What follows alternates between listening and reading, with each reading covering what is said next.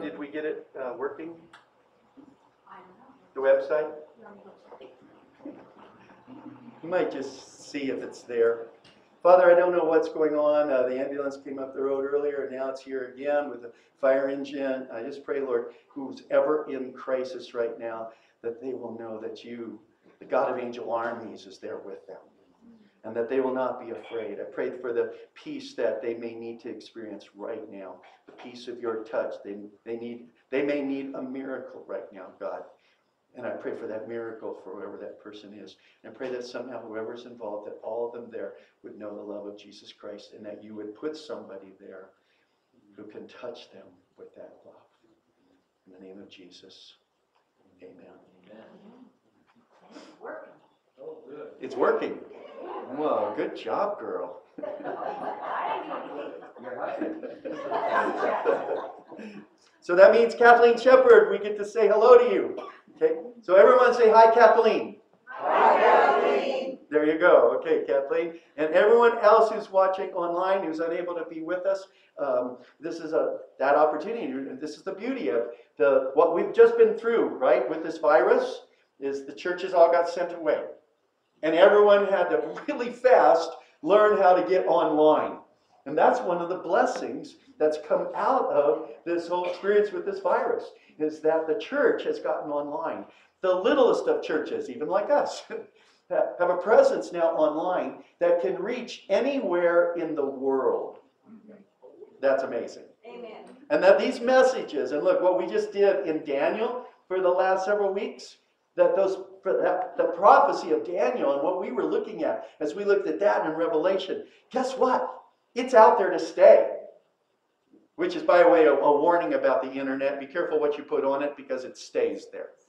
Okay, so so if you're gonna say something nasty about your wife or your husband, I suggest not doing it online unless you never want to live down what you said about them. Okay, it's really just be careful what you put on the internet, and that should be a, a lesson for all of us, anyways, to be careful about what we what we put out. We shouldn't be saying things that later we would be embarrassed about anyway, should we? So control your tongue, I guess, is another word for us this morning. But but today we're going to get into this um, series. Uh, I will not be afraid. And there is a lot of reason for fear, isn't there? I don't know about you, but did any of you ever feel afraid of the boogeyman at nighttime? A few of you did. Yeah, thank you, thank you. No guys are going to admit it, huh? Well, I used to be afraid of the boogeyman, and especially because it, it seemed like we regularly had some boogeyman around our house. My mom would oftentimes see that boogeyman. I oftentimes never did, but just the fact that she saw it and would even call the sheriffs and I'm like, oh no, there's a boogeyman there. And so the dark is not a fun place to be. I mean, and, and think about it. In fact, we're going to learn some things this morning. Billy Graham in 1965 said historians will probably call our era the age of anxiety. Anxiety is the natural result when our hopes are centered in anything short of God and His willfulness. That was 1965. Today, the anxiety level of our young people has hit the roof. The, the amount of young people who have anxiety attacks, and we're not talking about, oh, well, it's just their figment no, of their imagination. No, this is real life anxiety attacks that, that just drive them literally crazy.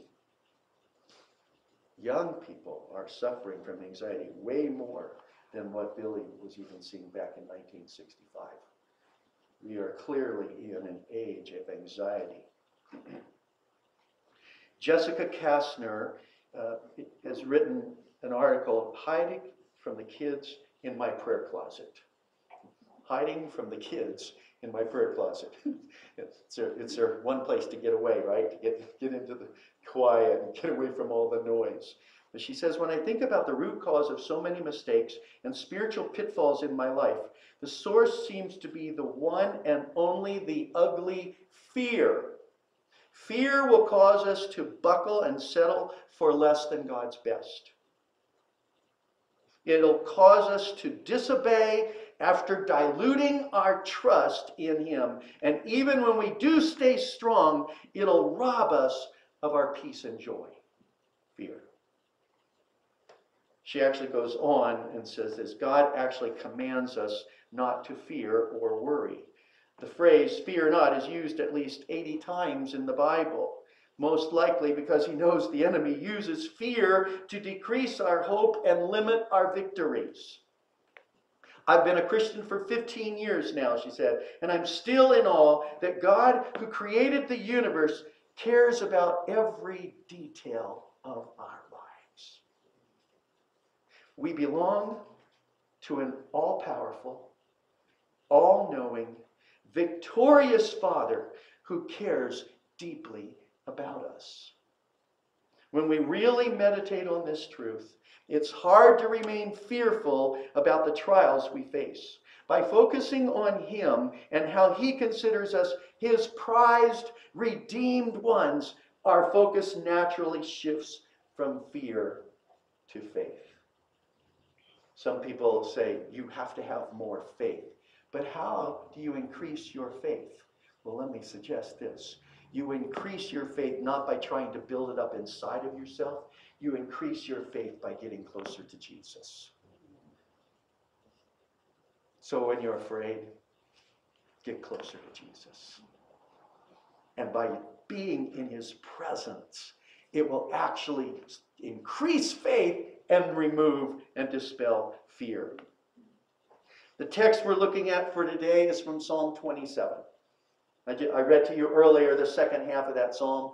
I'm especially focusing on the first three verses, but we'll we'll go a couple verses beyond that to verse six. And and so verse Psalm 20. Did I say Psalm 27? Yeah. Okay, thank you. All of a sudden, I thought I said Psalm 23, which was a great psalm too, and has a word about fear in it too, right?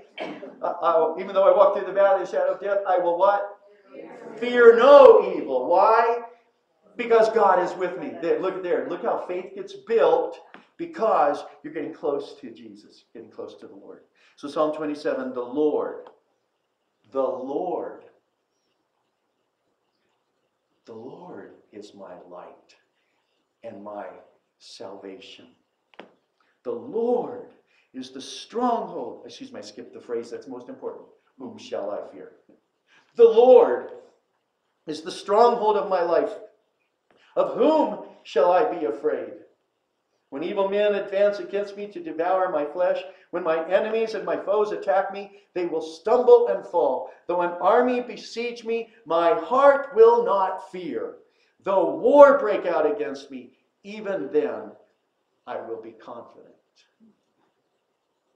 And by the way, look at the prayer that the psalmist prays. One thing I ask of the Lord, this is what I seek, that I may dwell in the house of the Lord all the days of my life, to gaze upon the beauty of the Lord and to seek him in his temple. Isn't that what we're trying to do right here? Now, obviously, we are the temple of God, right? So you can you can get into the temple of God any place by yourself. But there's something unique and special about God's people getting together like he commanded. For in the day of trouble, he will keep me safe in his dwelling. He will hide me in the shelter of his tabernacle and set me high upon a rock. Then my head will be exalted above the, enemies who surround me. At his tabernacle will I sacrifice with shouts of joy.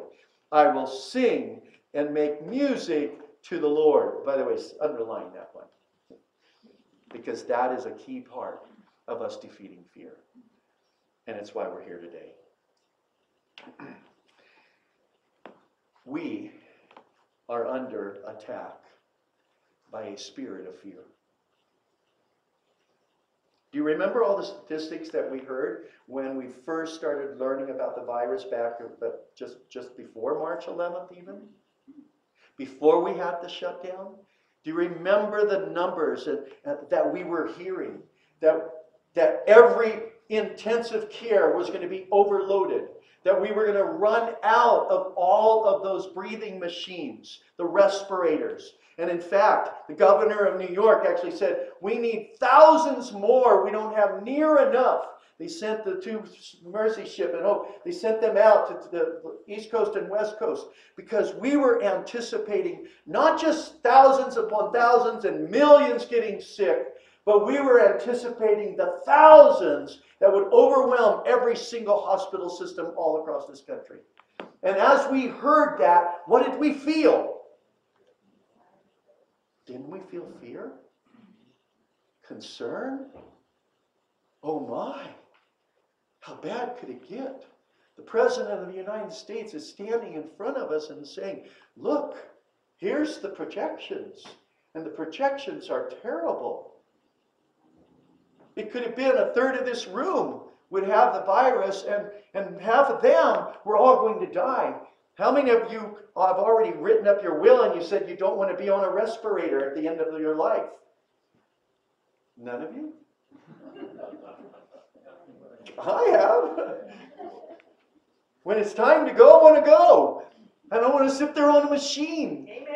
I watched my dad sit there when he said, "Bill, you need to. You're, you're the one. You're you have the medical power of attorney for me."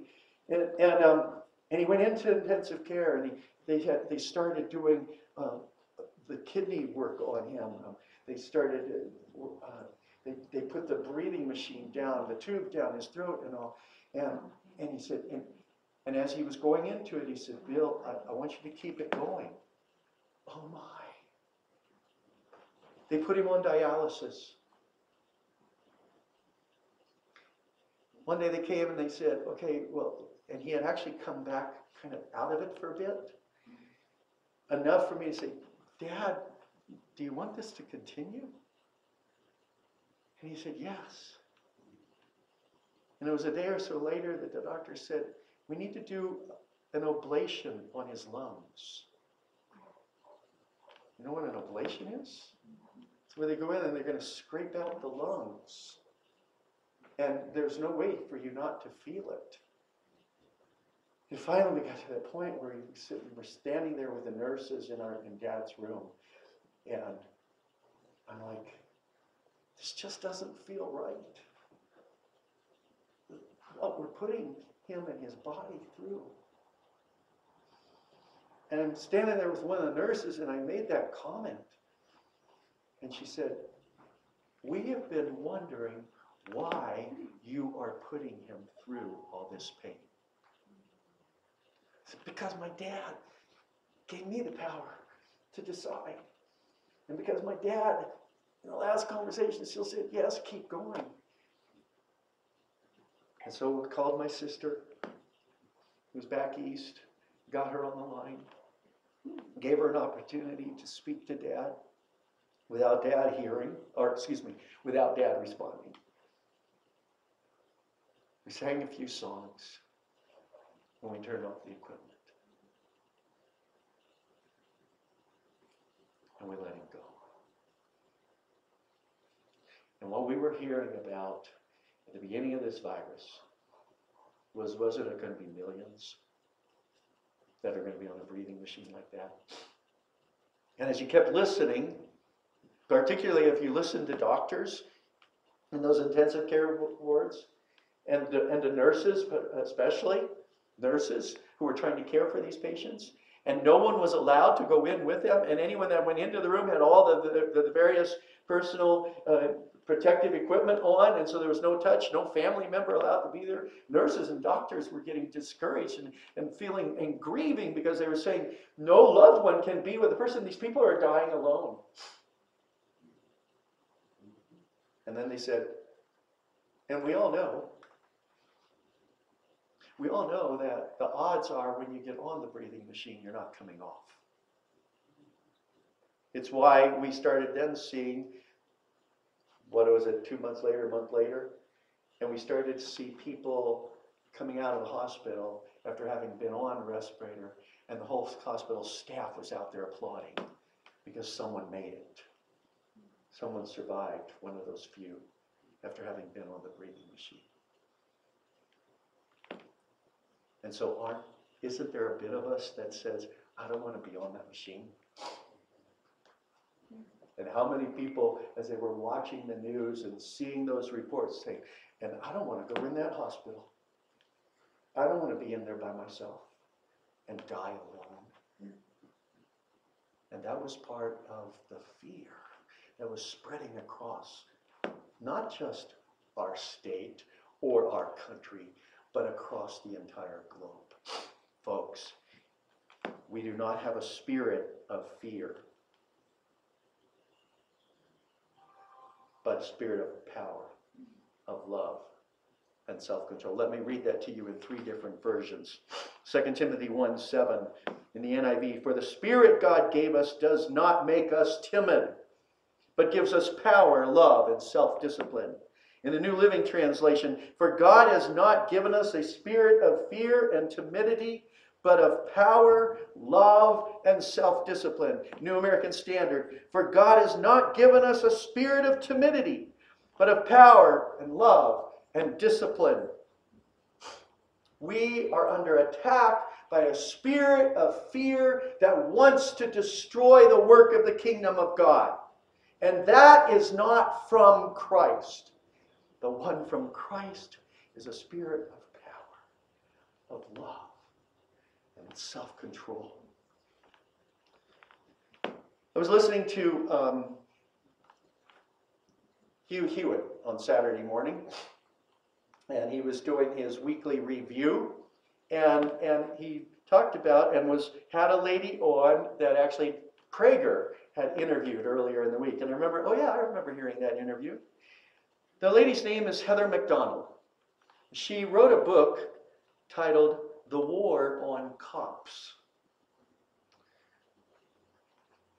As a guest of Dennis Prager, she said this As we have been interviewing people in the African American community, in the black community, they have been saying, We want more police, not less. She went on to say, I am afraid, well, she was quoting some of the people. She said, I'm this lady said, I'm afraid to go to my meal. This is a metaphor. We are turning the lights out on our civilization.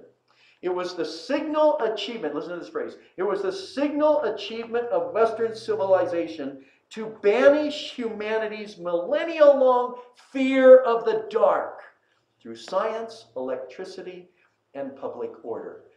What do you do when you're afraid of the dark? Turn the light on. Right? Little children, show them around the room. Go into the closet where they think the boogeyman is staying. Okay? Show them there's no boogeyman there. If you go out into the dark in the middle of the night and you're afraid, what do you do? Get a bright flashlight. We have some really bold ones now, right? And you shine the light and you can see what's around you. And if there is something there, you'll blind them anyways. It was the signal achievement of Western civilization to banish humanity's millennial long fear of the dark. And they did it how? Through science, electricity, and public order. What it felt like in the past weeks was the fall of night. You were fearful. It was like being in the Middle Ages. You worried about witches and gnomes in the forest and actual rampaging highwaymen. We are losing the businesses of civilization at an extraordinary rate. She goes on to say, civilization is fragile because human beings have a passion for destruction and for tearing things down. Anyone see any evidence of that in the last few weeks? Breaking glass is fun. Did you know that? The idea that these riots were out of sorrow and regret is preposterous. You had protest and you had riots, and you had different people on both sides. These people were having the time of their lives, and the precedent that has been set. The multiple failures of government that we have seen over the last three months are stunning. The first, to destroy the economy. The second, to fail to maintain public order, which is the first service and most important duty of government. And then ceding the streets to anarchists. The president has been set, she said. From now on, people know that if they are not getting their way, they can loot and pillage, shoot at cops, firebomb cops, destroy their cars, and there will be no consequences. She warned even that What happens if you have less police officers? What happens if those police officers are caught in a situation with somebody who's becoming violent and they have no backup because we reduced the police force? She said, listen to this if officers don't get backup, they are more likely to resort to legal force, not less likely. The Lord is my light and my salvation. Whom shall I fear? The Lord is my light. Think about some of what John told us in, in- when, when he was describing Jesus. In fact, John 8, verse 12, when Jesus spoke again to the people, he said, I am the light of the world. Whoever follows me will never walk in darkness, but will have the light of life. When you're in the dark, turn the light on. John 3, Jesus is speaking with Nicodemus, and he comes to this point with Nicodemus. He says, This is the verdict light has come into the world, but people love darkness instead of light because their deeds were evil. Didn't you find it interesting at all that the looting and the fire burning and the throwing of bricks and rocks all took place in the dark? When people could hide out? Chickens. I'm sorry. I'll try to watch my editorial comments here. It's so fun. Verse 20 Everyone who does evil hates the light and will not come into the light for fear that their deeds will be exposed. That's what Jesus was describing. But whoever lives by the truth comes into the light so that it may be seen plainly that what they have done has been done in the sight of God. We received an anonymous check this week for a thousand dollars for the food distribution through Mountain Help. Thousand dollars. Wow. Amen. Yes. And it came from a person in the community who said, I've seen you working. I've seen what you're doing. I've seen you don't just talk about it, but you're regularly out there serving. And she gave us a thousand dollars. Because God says, what you do in the light will be seen plainly. But what you do in the dark, you're doing it to try to hide. And then in that very first chapter of John, what did John the Baptist say? Or, or I should say, John, as he's writing it, he writes verse 1 In the beginning was the Word, and the Word was with God. And the Word was God. He was with God in the beginning. Through him all things were made. Without him nothing was made that has been made. In him was life, and that life was the light of all mankind. The light shines in the darkness, and the darkness has not overcome it. And what is John saying? Jesus, the light, is shining in the darkness, and darkness cannot overcome light. Incidentally, you realize that, right? Light, darkness is nothingness.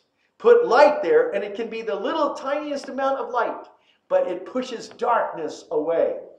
The tiny little match that burns, the tiny little candle, or how about this? Just the little red laser on your laser pen pushes the darkness away. And Jesus is the light that pushes the darkness away. The light shines in the darkness, and the darkness has not overcome it. There was a man sent from God whose name was John. He came as a witness to testify concerning that light, so that through him all might believe. He himself was not the light, he came only as a witness to the light. The true light that gives light to everyone was coming into the world. John saw the light. The disciples saw the light. Have we seen the light? The Lord is my light. The Lord is my salvation. The psalmist says, He's the light that puts away the darkness, but He's also my salvation. He's the one who comes to give me life forever. He's the one who comes to forgive my sins. He's the one who comes to give me new life. Let's go back to the story right there. Just as Jesus is being born, Zechariah, the father of John the Baptist, right? At the birth of John, has this great announcement, and he celebrates now this baby who's going to be declaring Jesus is the light. In verse 67 of Luke 1, it says, His father, Zechariah, was filled with the Holy Spirit, and he prophesied. Praise be to the Lord, the God of Israel, because he has come to his people and redeemed them. He has raised up a horn of salvation for us in the house of his servant David. As he said through his holy prophets long ago, salvation from our enemies and from the hand of hmm. all who hate us, to show mercy to our ancestors and to remember his holy covenant.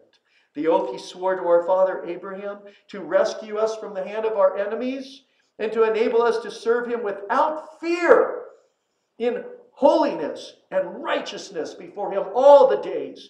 And you, my child, will be called a prophet of the Most High, for you will go on before the Lord to prepare the way for him. He will save us from what? Our enemies. Revelation says the last enemy that will be destroyed is what? Death. I'm not sure. Is that still our greatest fear? Death? Or being on a ventilator? He will rescue us from our enemies. That's what salvation is. He will rescue us from the enemy of darkness. The enemy name is named Satan. The enemies who are principalities and powers and rulers of darkness in heavenly places, he will save us from them. He will save us from our enemy, the spirit of fear. In Acts, verse chapter 4 verse 12 says salvation is found in no one else. For there is no other name under heaven given to mankind by which by which we must be saved. And what's that name? Jesus some of you thought i had a trick answer because you were really too quiet on that one okay there, there's a name above every name on earth it's the name through which salvation will come. It will come through no other. And what is that name? Jesus. Okay, I'm just making sure you all have the answer. Maybe I had it wrong. I don't know. Paul, in speaking about the spiritual battle that we are in, where he warns us that we're not fighting flesh and blood, but we're fighting principalities and powers, that there are rulers in heavenly places. The spirit of Antichrist is across this globe, folks attack, excuse me, and the spirit of fear is attacking across this globe, wants us to be controlled by fear. Isn't that why, why you use fear? To try to manipulate and control people? That spirit is out there and attacking. And listen what Ephesians 6 17 says Take the helmet of salvation and the sword of the Spirit, which is the Word of God. We're supposed to cover our heads. Have you thought about where fear starts? starts in your thoughts. Starts in what you think. It starts in your mind. Fear begins there.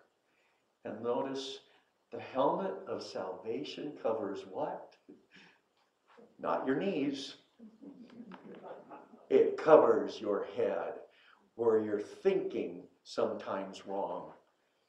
The helmet of salvation, we are protected by this new relationship we have with Jesus Christ who saves us. Well, I think Psalm 27 has a parallel in 1 Thessalonians chapter 5 verses 8 and 9 when Paul says, "But since we belong to this day to the day, not to the night, let us be sober, putting on faith and love as a breastplate, and the hope of salvation as a helmet. For God did not appoint us to suffer wrath, but to receive salvation through our Lord Jesus Christ. The Lord is my light. The Lord is my salvation. And then the psalmist says, And the Lord is my stronghold. The Lord is my protector. The Lord is that fortress. That's what a stronghold is. A, a place where, where you're surrounded by a fortress that's going to protect you. But take note, God's people are not supposed to stay in the fortress. They go to the fortress to get refreshed. They go to the fortress to get renewed. They go to the fortress to get new resources. And then they go back out onto the battlefield. Because you don't want to sit there in a place of defense in the fortress. The fortress is that stronghold that guarded you so that you can go out into the battle. And by the way, the even cooler thing about that is God is the fortress that goes with you into the battle. Folks, the masks will only protect us so much. I believe it's my friend Paul who, who said to me, really, the masks protect you from me. Right? So, so if I'm sneezing, um, then, okay, by me sneezing on, into the mask, I'm not sneezing on you. Correct? And with all the allergies, is anyone else sneezing? It's not with COVID, but some other reasons? So, so the mask. In fact, now, now we keep learning about all these things of how dangerous the mask is. We have people who have oxygen issues. They're not, not you know, told by doctors, don't wear the mask. Uh, by the way, think about it. You're getting carbon dioxide in here, right? I think that's not a good thing, right? Okay. Carbon dioxide. You're taking that in the mask. So, so here's the challenge. The very thing that we've been hoping protects us may actually be causing new problems. But that's the way the world is. It's. The. Lord. What's that? Allergies? Allergy season. It's, I know it is. Oh and, and you have, now you have to wear a sign that says, I have allergies, that's not, that's why I'm sneezing.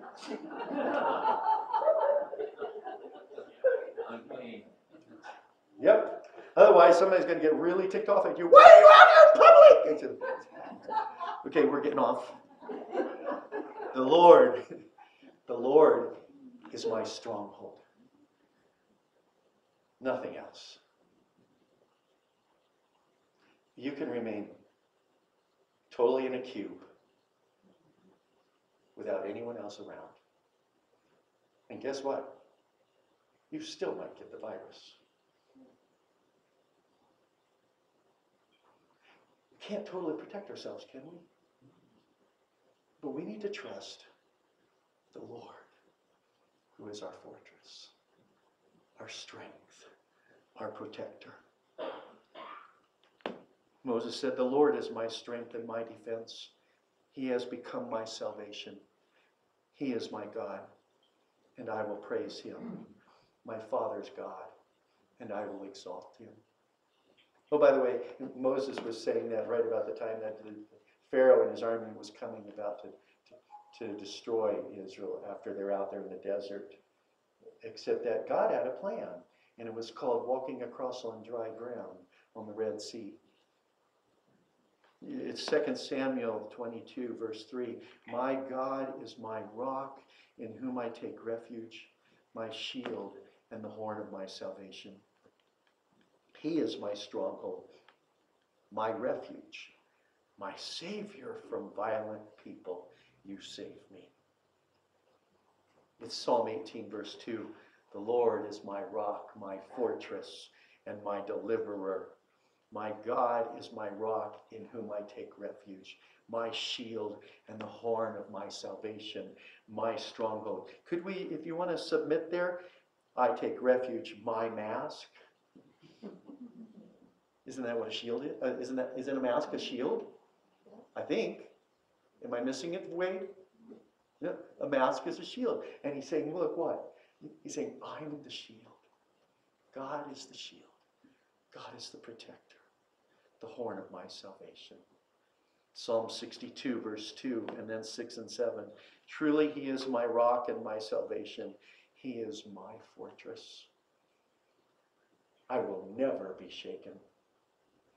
Truly, He is my rock and my salvation. He is my fortress. I will not be shaken. My salvation and my honor depend on God. He is my mighty rock, my refuge. Whom then? Whom then shall I fear? Now, I understand a little bit why David says whom, because he's dealing with soldiers, enemies. We're not sure, Psalm 27, did David write that because he's running from Saul, the king, or from Absalom, his son? It's one of them, and he's left the, the throne, and worse than that, he's left the place that has been the most refreshing place for him. He's left the place that blessed him the most. He's left the tabernacle of God. Remember, this is even before the, temp- the temple, right? Temple's built by Solomon, so there's no temple with David. But there's still the tabernacle. There's still the meeting place with God that David would go to to get into the presence of God. And then David, even as he's praying this psalm, he's saying, I'm finding my presence with you, God. I'm finding my peace, my hope, my confidence because you're my light, you're my salvation, you're my stronghold, you protect me.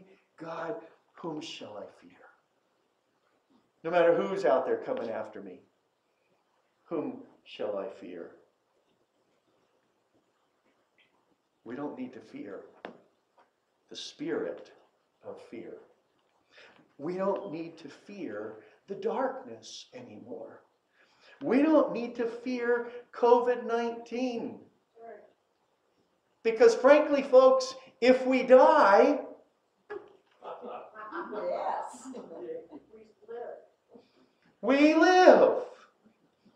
We're with Christ. In fact, Romans 8, verse 31 is such a great place for us to start bringing this to a conclusion. I'm sorry I didn't type this one out ahead of time.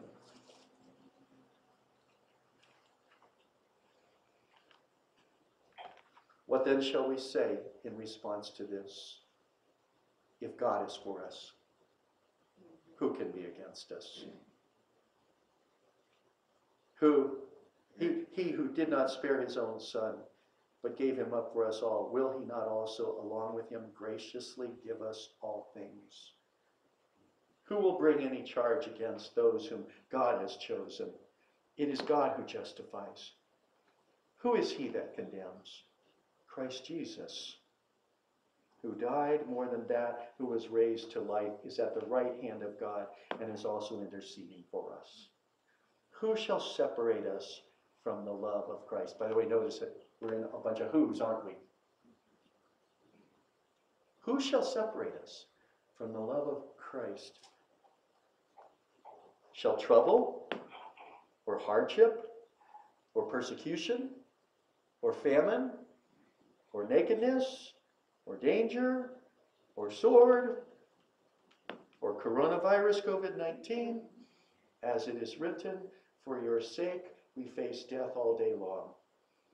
We are considered as sheep to be slaughtered. I think that's some of how the nurses and doctors felt, right, Paul? Especially when they step all up like that. We, we- we're the ones on the front line, right there, gonna get sneezed on, right, Paul? Yeah, doing the tests, no less. And oh my goodness, knowing all these things, we are more than conquerors through him who loved us. For I am convinced that neither death nor life, neither angels nor demons, neither the present nor the future, nor any powers, neither height nor depth, nor anything else in all creation will be able to separate us from the love of God that is in Christ Jesus our Lord. Whom shall we fear? As the psalmist wraps up this section, listen what he says. One thing I ask from the Lord, this only do I seek, that I may dwell in the house of the Lord all the days of my life, to gaze upon the beauty of the Lord and to seek him in his temple. For in the day of trouble he will keep me safe in his dwelling.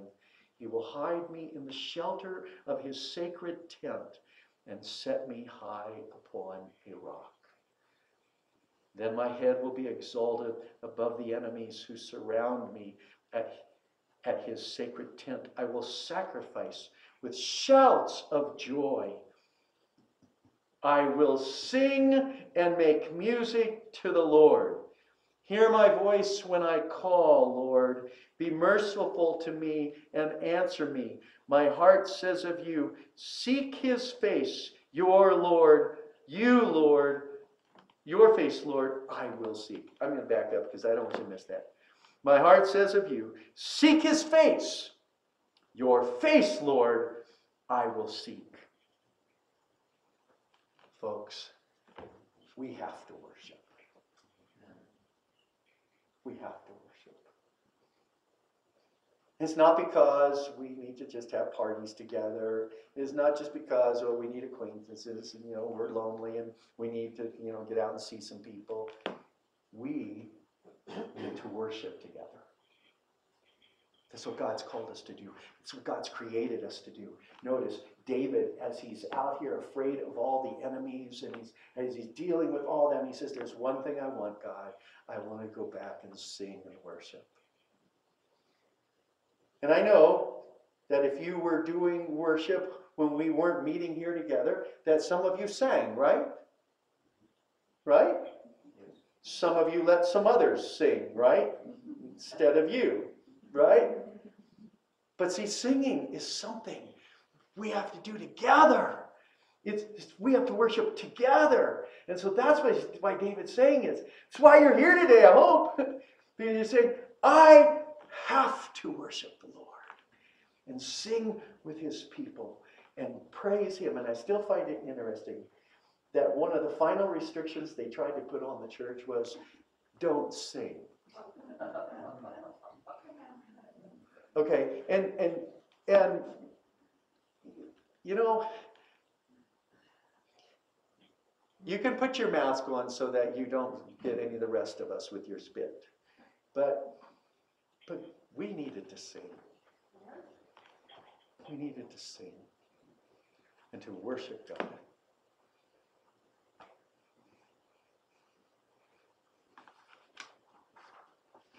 The Lord is my light. The Lord is my salvation. The Lord is my stronghold. And even though I might be afraid at times, the Lord is with me. I probably need to do one last comment. If someone is more afraid than you, show them love, not disrespect. Don't try to force yourself into their face. If, if somebody puts out their elbow, don't grab them and say, No, I'm not doing that. Respect them. Don't we have a responsibility to love one another? In fact, don't we have a responsibility to care for people who might be weaker than us? And I just have to ask you, how do we know which one of us is weaker? Okay, hopefully that'll sink in. How do we know whether if I'm the weaker brother, not you? The Lord's my light. The Lord's my salvation. The Lord's my stronghold, my protector. And because the Lord's in me, I love. Most of you here today, I think you're here because you love Jesus already. You've committed your life to Him. But maybe you need to do some cleaning up. Because that's one of the things that I sense that Jesus is doing with His church. He's trying to clean His body, He's trying to purify us. If you've ever prayed for revival, then you've prayed for the church to get clean. Don't forget, that prayer begins with you. It starts with you getting cleaned up, purified, becoming more like Jesus Christ. And if anyone's listening to this online, even a thousand years from now, or decades, or you're in the middle of the tribulation,